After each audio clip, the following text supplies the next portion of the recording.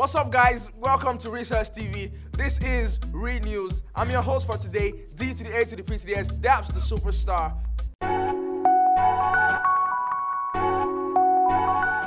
As seen on the internet, there are rumors that Mo Abudu is currently having an affair with the current governor of Lagos State, Babajide Sanwo-Olu. Hmm.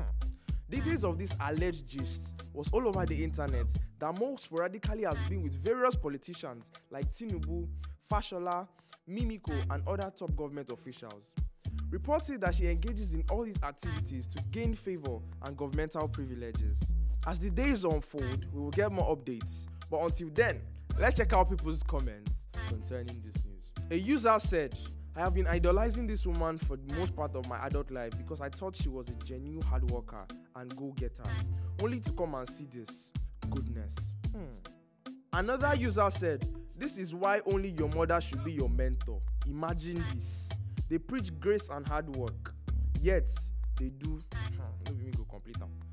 Another user says, After numerous affairs with almost all the governors, she's still in debt. Nothing will ever satisfy some people.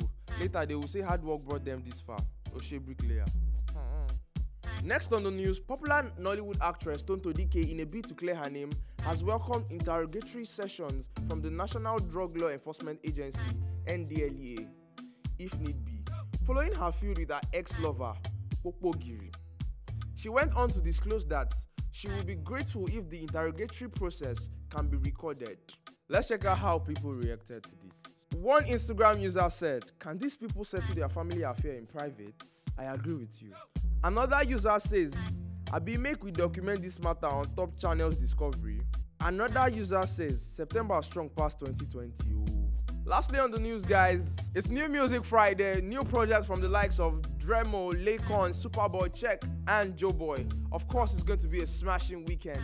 Check out all streaming platforms for amazing, good music this weekend. That's it for the news today. Thank you so much for watching. You can catch the news every Mondays, Wednesdays, and Fridays. Also, do not forget to comment, like, share, subscribe, and turn on the notification bell to get updates on all our content. Bye.